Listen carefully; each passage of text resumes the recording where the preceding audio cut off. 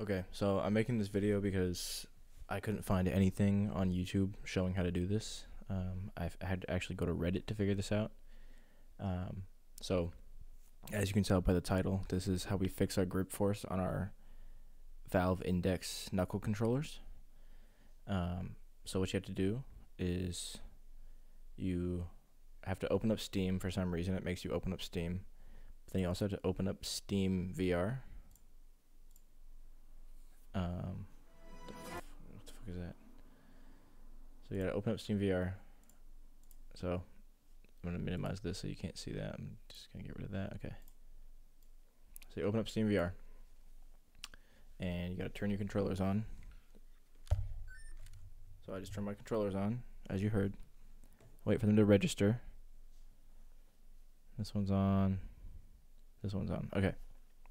So what you gotta do is go to click this little three area to open up the menu, the little three lines.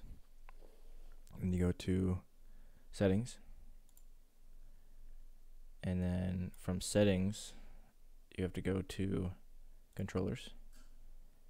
And you go to show binding UI. This is very important. This is the tab that'll open.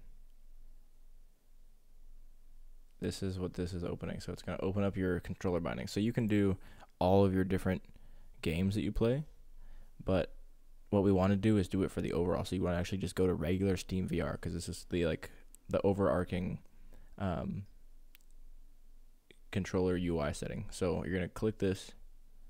It's gonna load. So you're gonna have all this stuff. Don't worry about anything down here. We just need to go to where it says current binding. I'm already on my fixed part two, um, because I had to do this twice in order to get it fixed and and and, and make it feel the right way.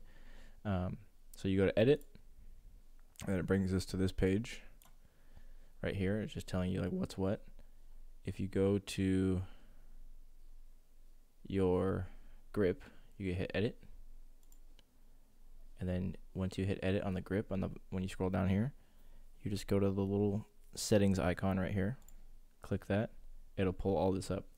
Some people change this to pull. I like to keep mine on force because pull makes it so that when you touch the controller, it registers, but if force is what the squeezing registers. So um, I'm actually going to change my um, my touch activation and touch threshold deactivation, or maybe I'll do yeah. I might change this down to 10 as well. Um, maybe just turn this up to like 35 because it, it was doing a little too much before. Um, but your default settings are probably going to be like 80 and then 20 or 25 and then whatever these were before because I just changed these just now. Uh, but these are the first two that I changed right here. I changed click activ- activation threshold. I changed that down to 20 because I don't want to have to squeeze the life out of my controller in order for it to register that I'm making a fist.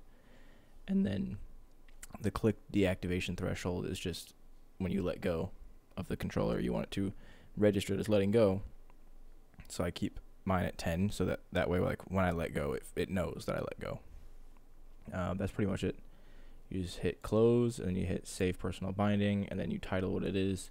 This is my third time doing it now, so I'm going to say uh, fixed part three. Um, and then, yep, do this and then changed deactive deact deact deactive from 20 oop, from 20 to 10 save. Then it's going to save it and you just go over here. You got to go to the right side controller.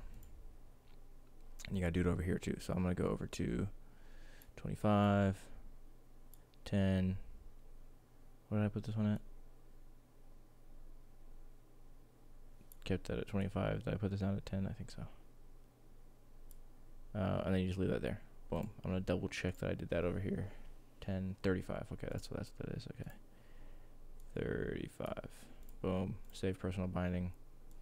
I'm just going to rename this part 3 because I I saved it too fast. So actually wait till you do both controllers, do the left controller, then do the right controller, and then click the save personal binding, and then come to this page to name it. So I'm gonna say fixed part three again, just because mm, it's easier that way. Save.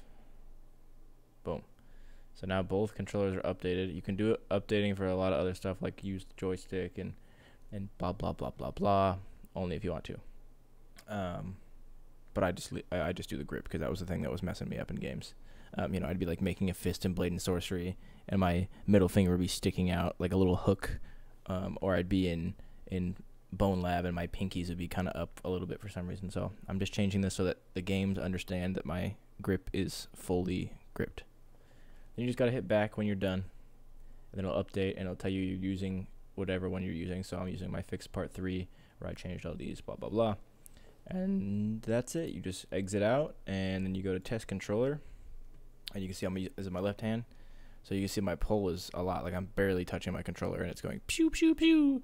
But the force now, if I just grip a little bit, this is gripping a little bit, so it's about half. If I grip full, not full strength, but like a little bit more, this, if I was gripping as hard as I am right now, I would only be getting to half of the force. So I had to like grip with like my life depended on it before. So now it's just easy peasy lemon squeezy.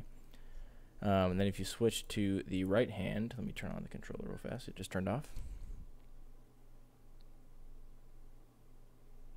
Then you can see the same thing. I'm barely gripping and it's going up to 50%, 100%, 50%, 100%. Super easy, super good. Um, that's pretty much it.